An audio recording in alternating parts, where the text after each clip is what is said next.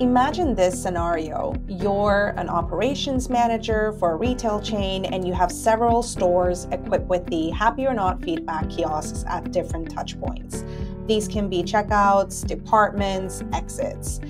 You want to see how your stores compare and identify any that might be underperforming. And if one is, you'll want to dig deeper into the reasons why.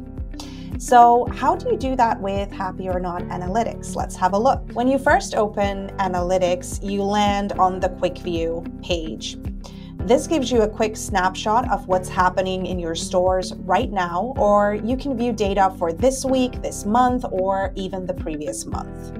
Next, head over to the details view for more in-depth performance insights and the ability to set custom date ranges. For example, let's say you want to check how your stores have been doing since January 1st. We go to the comparison widget and can immediately see that store B is underperforming compared to store A. But why? So let's click on store B to investigate further. First, we look at the monthly performance trends. Overall, things were going well with strong performance in June and July. But then in August, the happy index dropped and stayed low through September. So, what happened in August that could have caused this? Now, let's examine the comparison widget to pinpoint which experience points are struggling the most. We'll drill down into Department B2.